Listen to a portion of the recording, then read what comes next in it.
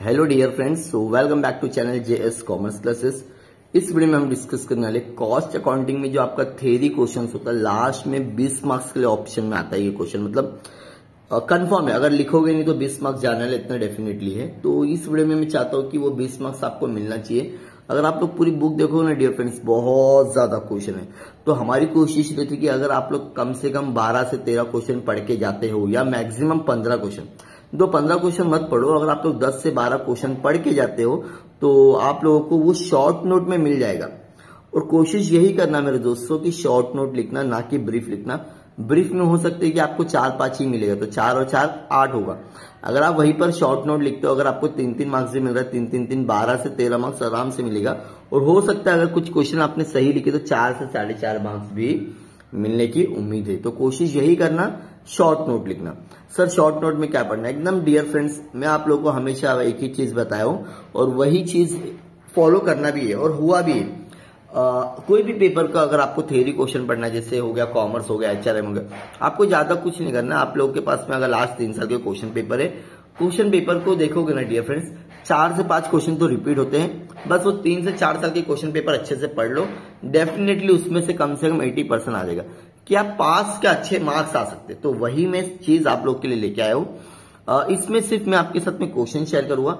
जिसको भी इसका आंसर चाहिए वो चैनल को सब्सक्राइब कर लो।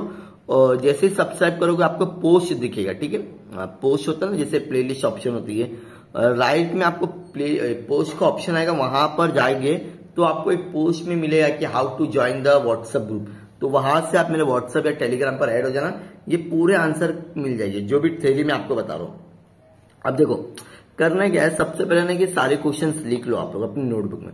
टाइप्स ऑफ़ बेंच खाली क्वेश्चन लिखना types of benchmarking cost plus contract limitation of marginal cost advantages of cost ledger abnormal gain sir abnormal gain वही ना, देखो अगर आपको सम्स आते हैं, क्या आते हैं तो अगर आपने उसका फॉर्मूले भी अच्छे से बना देगा ना, हो जाएगा, काम बन जाएगा। समझ में आगे क्या बोलो? तो कोशिश करो, याद करके जाओ। आप अगर बिना याद किए हुए जाओगे तो आप सोचना कि मार्क्स भी आपको वैसे मिलेंगे, दो ढाई तक ही मिलेंगे, हो सकता है कि मार्क्स नहीं भी मिले। ताकि कॉस्ट अकाउंटिंग में अगर आप अच्छे से लिखोगे तो मार्क्स मिलेगा डियर फ्रेंड्स तो ये पाँच क्वेश्चन सबसे पहले हेडिंग लिख दो और यहाँ पर अगर देखिए ब्रेक इवन पॉइंट हमेशा मोस्टली क्वेश्चन आ रहा है तो यहाँ से आप लोग सात क्वेश्चन पहले लिख लो, ठीक है? आपने लिख लिए, ये 2019 का पेपर है। अब मैं आप लोगों के साथ में एक और चीज़ क्वेश्चन पेपर शेयर करता हूँ डियर फ्रेंड्स देखो मोस्टली क्वेश्चन सब रिपीट होगा देखो ब्रेक इवन पॉइंट वहाँ भी आया था, ठीक है? और हाँ बाकी कुछ क्वेश्चन नए तो थोड़ा ये क्वेश्चन लिख लो, ये क्वेश्चन बहुत इंपॉर्टेंट है लाइफ साइकिल और इसमें से कुछ क्वेश्चन ऐसे ना डियर फ्रेंड्स आप लोग अगर एक बार रिफर करोगे ना, अच्छे से याद हो जाएगा, बहुत अच्छे से याद होगा। ठीक है पूरा क्वेश्चन लिख लो, बारह क्वेश्चन हो गए, ठीक है? अब इसमें से हम लोग कुछ सेक्रिफ करेंगे कि बहुत छोटे छोटे हो जाना चाहिए।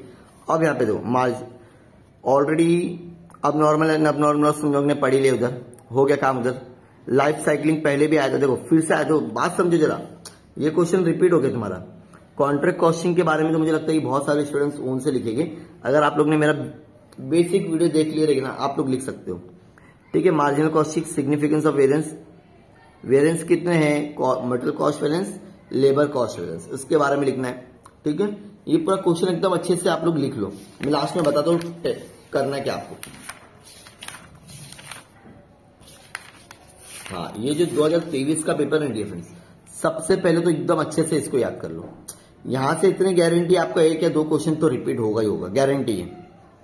डन ये क्वेश्चन में से आप लोग एक भी क्वेश्चन स्किप नहीं करोगे। अब दिसंबर का भी देख लेते एक बार केटी का पेपर मार्जिनल सेफ्टी जो ब्रेक इवन पॉइंट बार बार आ रहा है तो मोस्टली चांसेस है। बेंच मार्केटिंग भी क्वेश्चन रिपीट हुआ है। प्रोसेस कॉस्टिंग तो अगर आप लोगों ने फॉर्मेट भी अच्छे से कर लिया ना बात बन जाएगी।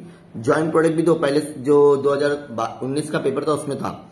मार्जिन ऑफ़ सेफ्टी भी था इंटेग्रेटेड भी था। ऑलमोस्ट अगर ये वाला क्वेश्चन पेपर देखोगे तो ये रिपीटेड क्वेश्चन हुआ है। तो इसके लिए मैंने बोला, पहले क्वेश्चन लिखो। जो क्वेश्चन रिपीट हो गए तो उसको कम कर दोगे। हर साल आठ क्वेश्चन आते। अगर आप लोगों ने तीन साल किए तो चौबीस क्वेश्चन होते। चौबीस में से अगर कुछ क्वेश्चन को अगर आप सर्कल करोगे तो वो कहीं ना कहीं तो जाके वो बारह से पंद्रह से तेरह क्वेश्चन हो जाएँगे। उसमें से भी क्या पढ़ना है, एक सेपरेट आपको मिल जाएगा पीडीएफ मिल जाएगा डियर फ्रेंड्स क्या क्या पढ़ना करके। वो पीडीएफ के लिए आपको कंडीशंस बता दिए मैंने, लेकिन जो तरीका मैंने बताया लिखो, अगर आपको मेरे से पीडीएफ नहीं चाहिए तो आप लोग आंसर लिखिए, बहुत इजी वे में लिखिए, कोशिश करें कि एकदम सामने वाले को टीचर को आंसर समझ में आना चाहिए। आठ लाइन लिखो, लेकिन मीनिंगफुल लिखो। जरा ध्यान से सुनो, आप लोग आठ लाइन लिखो, लेकिन अगर मीनिंगफुल लिखोगे ना डियर फ्रेंड्स तीन मार्क्स भी मिल जाएगा। लेकिन अगर आप दो पेज लिख रहे हो, कुछ भी रिलेटेड नहीं है तो ज़ीरो मिलेगा। तो do smart work hard work ना करते हुए स्मार्ट वर्क करिए, आप लोगों के लिए बहुत ज़्यादा फ़ायदा देगा। ठीक है? ऐसे और भी वीडियोस के प्लीज़ चैनल को सब्सक्राइब करो। और जो इंपॉर्टेंट क्वेश्चन बताया रिपीटेड क्वेश्चन ही करने के, ज़्यादा बेहतर रहेगा। और आंसर के लिए आप मेरे व्हाट्सएप ग्रुप पे जुड़िए और लास्ट तीन साल के क्वेश्चन पर कर लिए उससे ज़्यादा मत करो। क्योंकि ऑलरेडी मोस्टली रिपीटेड क्वेश्चन ही आपको एग्ज़ाम में पूछे जाते हैं। और कुछ क्वेश्चन ऐसे कि जो चैप्टर अगर आपको आता है तो उसके बारे में भी आप लिखोगे तो भी चलेगा। डन एवरीवन सो प्लीज़ मैं चाहता हूँ कि अपने दोस्तों के साथ में शेयर करना। ये बीस मार्क्स का जो भी क्वेश्चन मैंने बताया हंड्रेड वन परसेंट मोस्टली जो चार ही क्वेश्चन आपको चाहिए ना, छह क्वेश्चन आते हैं चार क्वेश्चन आराम से मिलेगा डियर फ्रेंड्स एकदम आराम से। पहले पढ़ो, हो जाएगा। ठीक है? सुबह बाय